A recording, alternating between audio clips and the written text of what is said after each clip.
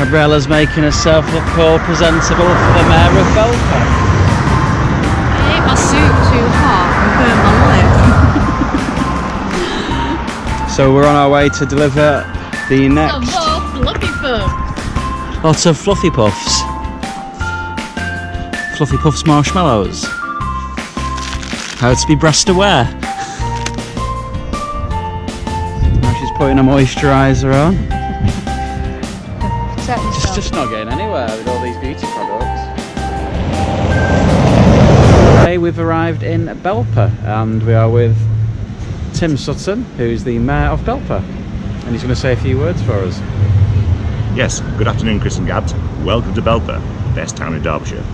Um, lovely day here, um, my favourite town, uh, very busy little town now. Um, we've had uh, a huge food and drink fair at the weekend here, which is uh, attracted somewhere between about 8 and 10,000 people to our main street.